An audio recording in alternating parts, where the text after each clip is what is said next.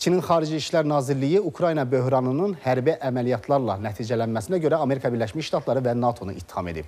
Qurumun rəsmi nümayəndəsi Zhao Liqian bildirib ki, NATO-nun şərqə doğru genişlənməsi siyasəti ilə Amerika Birləşmiş Ştatları Ukrayna böhranını daha da alovlandırıb. Çin həmişə hesab edib ki, bir ölkənin təhlükəsizliyi digər ölkələrin təhlükəsizliyi hesabına təmin oluna bilməz. Regional təhlükəsizliyi isə hərbi blokların genişləndirilməsi ilə təmin etmək olmaz deyə Çinli diplomat qeyd edib.